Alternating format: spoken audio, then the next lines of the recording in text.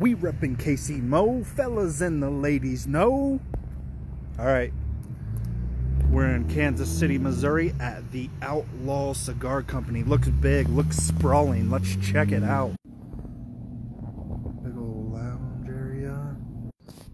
Big old glass walk in.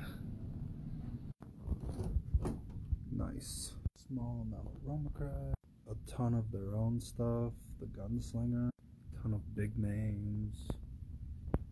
But they do have some tatuaje and other stuff scattered throughout. Little crown heads, but really not much. Ton of big names. And a fucking ton of shop exclusives.